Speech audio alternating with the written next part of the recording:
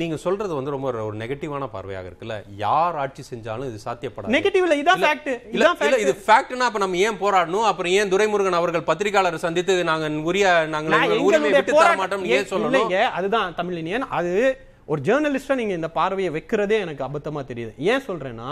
எங்களுடைய போராட்டம்னு சொன்னது அவர் அரசியல் போராட்டம் சொன்னாரா எங்க அமைச்சர்? இல்ல நான் ரோட்ல போய் போய் போராடுவோம்னு சொன்னாரா? நாங்க சொல்றது நீதிமன்றத்தை நாடி போராடுவது. அந்த போராட்டம் தான் ஆரம்பிச்சிருக்கோம். நீங்க நாங்க சிடபிள்யூஎம்ஏக்கு போனோமா?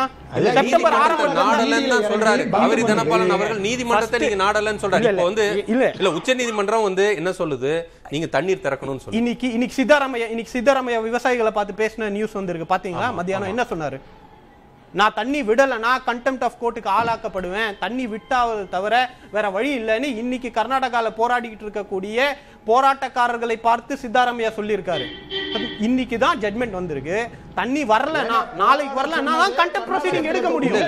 நீங்க சொல்றது என்னவோ இன்னைக்குதான் இல்ல. நான் நான் நான் ஏற்கனவே முன்னுரையில சொன்னது போல ஒரு மாத காலமாக அறுபத்தைந்து அடி கீழே மேட்டூர் அணையில தண்ணி குறைஞ்சிருச்சு. நம்மளுக்கு வரத்து இல்ல. ஏற்கனவே ஐயாயிரம் கண்ணடி தண்ணி திறக்கணும்னு சொன்னாங்க. அந்த ஐயாயிரம் கண்ணடி திறக்கவில்லைன்றதுதான் நம்மளுக்கு இல்ல, ரிப்போர்ட் ஆகுது திறந்துட்டாங்க. அவங்க திறக்கல. அப்படி இருக்கும் பொழுது இன்னைக்கு தான். தீர்ப்பு வந்திருக்குன்னு சொல்றது ஐயாயிரம் கடி ஐயாயிரம் கன அடி திறக்கலன்னு நீங்க நிரூபிக்க முடியுமா தமிழினியா நீங்க பெரிய குற்றச்சாட்டு. அவங்க வச்சா பரவாயில்ல. நீங்க அந்த குற்றச்சாட்டை வைக்கிறீங்க.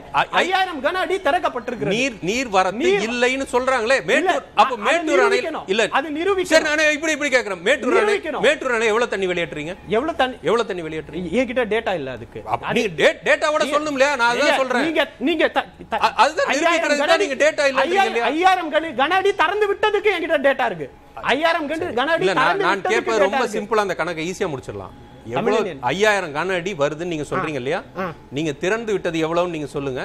ஐயாயிரம் கன அடிக்கு அதிகமா அப்ப திணறு திறந்து இருக்கிறீங்களா?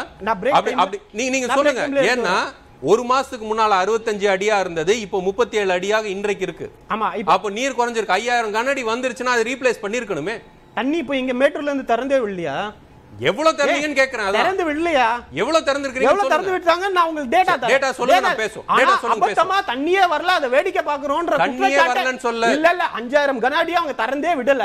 அதை வேடிக்கை பாக்குறோம்னு சொன்னதே ஒரு அபா ஒரு அபாயகரமான ஒரு அபத்தமான குற்றச்சாட்டு. அப்படியெல்லாம் அப்படியெல்லாம் நான் சொல்லல. இல்ல, நீங்க சொன்னீங்க, ஐயாயிரம் அப்படி வரல, நான் வரல. நீங்க மீண்டும் மீண்டும் ஐயாயிரம் அதை பதிவு கன அடி செய்றீங்க. கர்நாடகா திறக்க வேண்டும் சொன்னதே திறந்திருக்குதான் திறந்து இருக்குன்றேன் நீங்க இல்ல திறந்திருந்தால் எப்படி? அப்ப எவ்வளவு தண்ணீர் எவ்வளவு வெளியேற்றப்படும் தமிழ்நாட்டுல இருந்தும் திறந்து விடுறாங்கல்லைங்க மேட்டூர்ல இருந்தும் திறந்து விடுறாங்கல்ல விவசாயிகளுக்கு மேட்டூர்ல இருந்தாங்க எவ்வளவு திறந்து அது data நான் தரேன். நீங்க குறிப்பிட்ட இந்த Data கேள்வி கேட்க எனக்கு. தெரியாது. Data கொடுங்க, நான். திரு முழுசா-. இல்ல, என்னை பேசவே விடாம என்னுடைய நேரத்தை முடிச்சிட்டீங்க. பேசவே விடல, இல்ல, இவ்வளவு நேரம் ஆமாங்க, அவர் full ஆ G20 ய பத்தி பேசினாரு.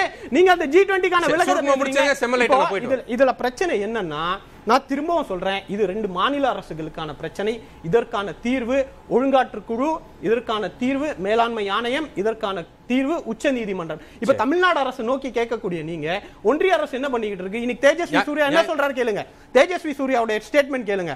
தமிழ்நாடு அரசுக்கும் அங்க இருக்கக்கூடிய சித்தாராமையாவுக்கும் நல்ல உறவு இருக்கிறதுனால தான் இந்த தண்ணியை திறந்து விட்டுருக்காருன்னு அங்க உட்கார்ந்து அரசியல் பண்ணிட்டு இருக்காங்க. இதுதான் அங்க பிரச்சனை.